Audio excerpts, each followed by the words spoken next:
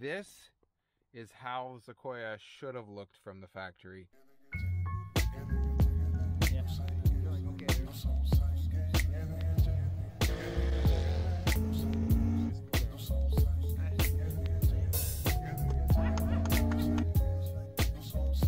Stop it. We're not saying that on camera. Today is going to be an exciting day. Operation Wood Grain Delete begins. We showed you before in previous videos the interior of the 2013 Toyota Sequoia, and I hated it. It just didn't have a theme. It was so dumb.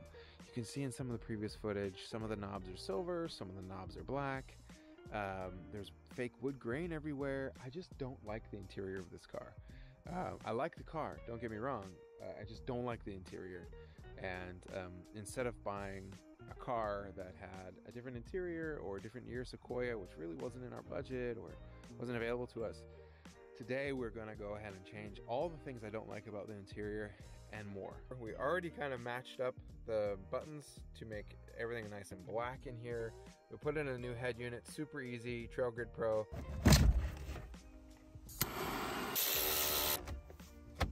Um, and the best part about that head unit is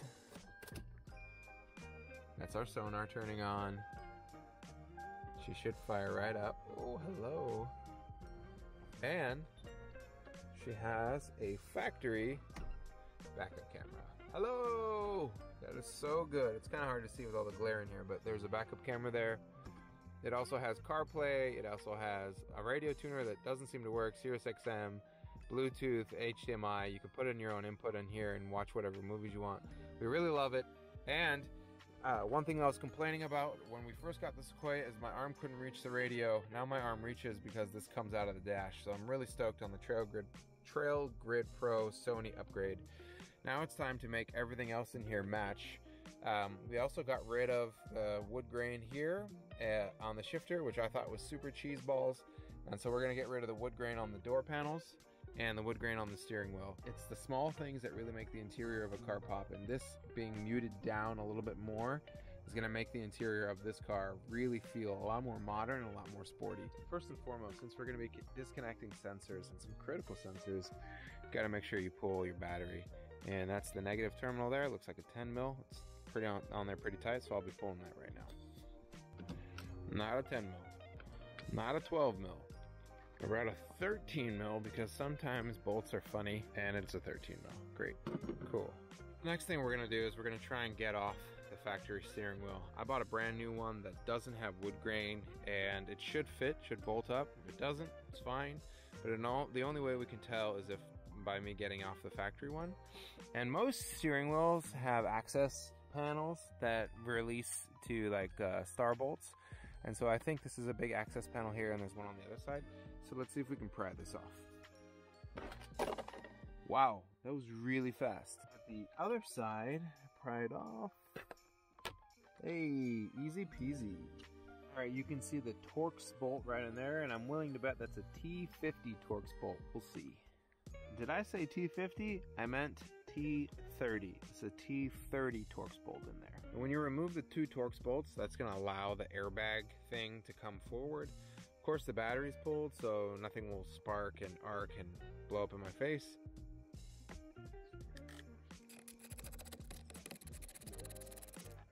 Okay, let's get the other side done.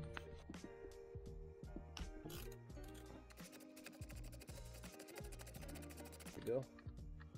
Let's see. Okay, she's out. All right, we pulled the airbag forward and safety equipment always have built-in redundancies. These things won't just pull off no matter what you do. These are releases on the back here that you have to pull off with a flathead and that should allow this to wiggle out. Obviously this is positive and negative and you don't want these to arc, so good thing you disconnected the battery. Once you pull that out, then you should be able to pull the airbag off completely. That wasn't, that's it. All right. And then the last thing you have to remove is the horn button. Obviously the battery is disconnected, otherwise this would be honking like crazy. There's a tab that holds it on. You push down with your flathead and that should allow you to wiggle it off. Done. All right. So the actual airbag itself is now off. Ooh, loaded. Now in order to get the rest of the steering wheel off, you know that there's a nut here that pulls forward, but then there's a bunch of connectors here. And um, I want to get these connectors off. And I know that there's a screw there. I don't know if there's a screw on the inside. I would assume there would be to make sure it's tight. And so I'm gonna start pulling these screws and see if I can get this off. And then I can go compare the steering wheel that I got to make sure everything matches up. Screw number one is out. I don't want to lose these. So let's see if it, there we go, nice. Put that on the door and pop that out. There we go, easy. Cool, goes in there. So that should be free. I don't, there we go, it's gone. No more cruise control. Now we're gonna move over to the radio. Let's see if we can get this one off. That should be the same as this one. Obviously that, oh, that just pulls off, just like that. So that's off. Let's see if this one pulls right off. Yeah, it does. Great, off.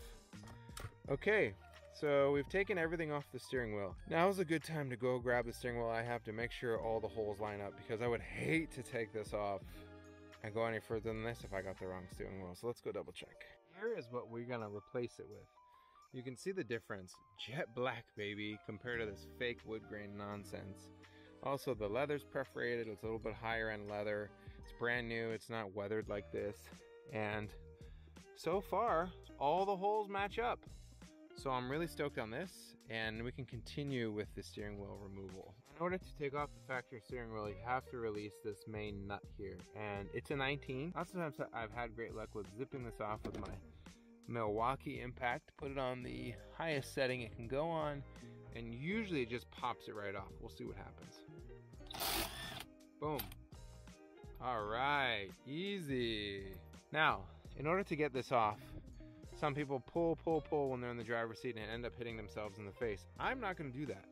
You can really give it a lot of play. Don't want to lose this guy. There we go. If you um, if you hammer at it on both sides, and by doing so, it kind of breaks the seal loose. And I don't want to break anything, of course, but just giving it a little. See, it kind of vibrates it and then you should be able to wiggle it back and forth. So I'm going to do that for a while before I punch myself in the face with the steering wheel.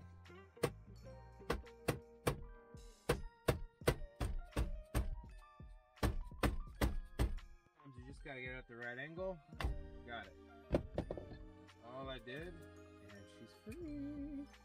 Now, it's not as simple as putting on the other steering wheel. All this plastic needs to transfer over. So let's go ahead and move over to the workbench and see if we can do that. Since we have our seats flat on the Sequoia, what better workbench than using the own car? There's like plastic bits here that needed to get transfer over. Um, and it really just like these two things that hold on these bolts and then the back piece. So let's see how the back piece comes off. Obviously there's two Phillips here and I think that's it. I don't see any other Phillips. So let's pop those off and see if we can just uh, switch her over. Make sure she's nice and level. On pretty dang easily, actually. That popped on really easily. There's a little bit of a bind here on this T30, but there we go. Got that in. Everything's snapped in. It's all flush in there. We can throw in uh, the two screws. The back plastic cover back on this wheel. That's gonna go on eBay. Bye-bye already looking so much better and it feels good too. So let's go ahead and move this back over to the steering column. Okay, this goes through here. I don't want that rotating too much. That should kind of find its groove. Looks like it's straight now. Hey, all right. Cool. Awesome.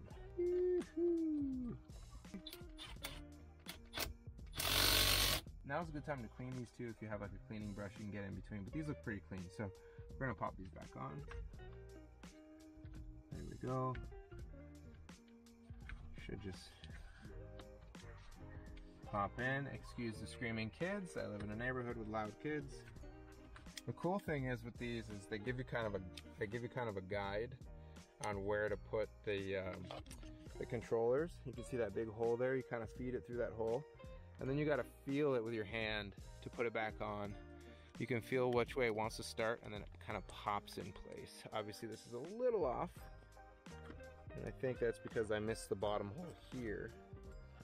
There we go. Now we're in. And boom. Nice and tight. And aligned with the screw holes on both sides. This one probably needs to go in a little bit more. There we go. This can plug back in. And then we need to get our cruise control back in. That goes over like that. There's a nice little tab that keeps it in place. Boom. And then this should pop in like so. Okay.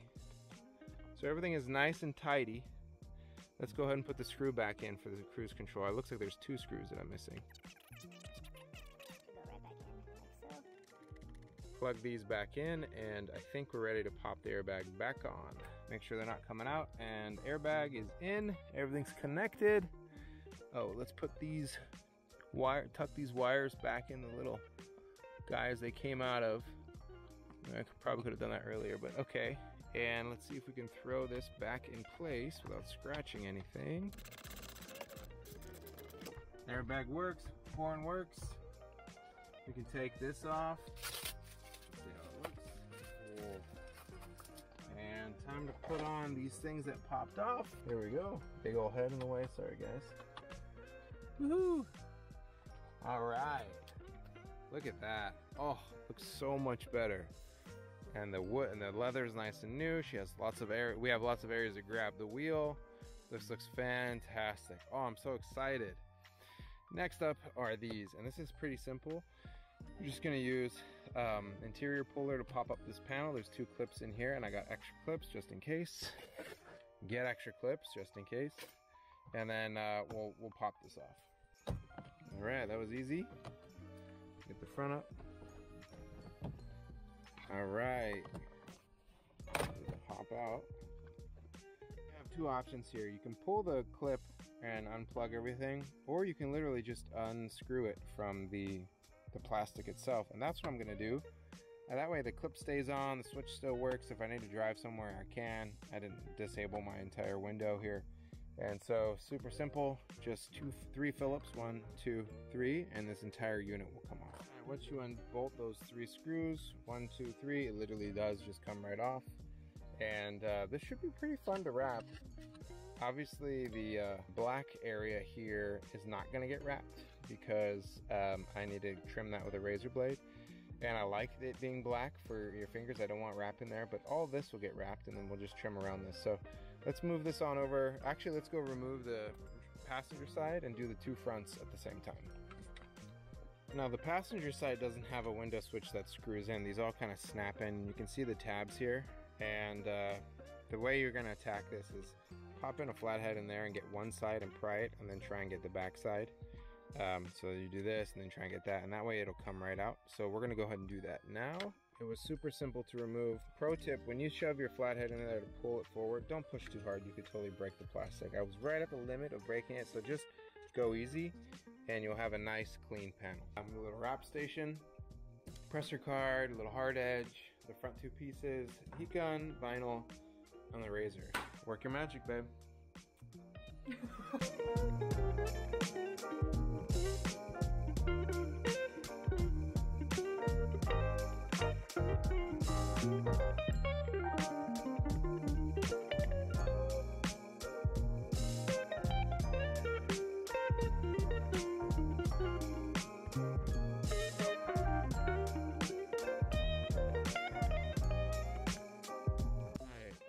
just finished wrapping this and we went with a carbon wrap because one, the textured carbon won't show up with a lot of scratches because we're going to be off-roading with this. And two, it matches all the different tones of grays and black in the car. So now all we got to do is put it back in the door and I am so freaking stoked. She did an amazing job with this. Oh, it looks so good. Let's screw this back in.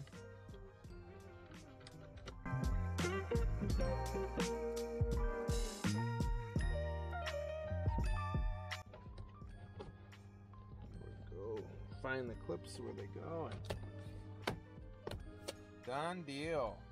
Oh, that looks so freaking good. This truck looks renewed. It looks like a brand new truck. Oh, I'm so happy. This looks amazing.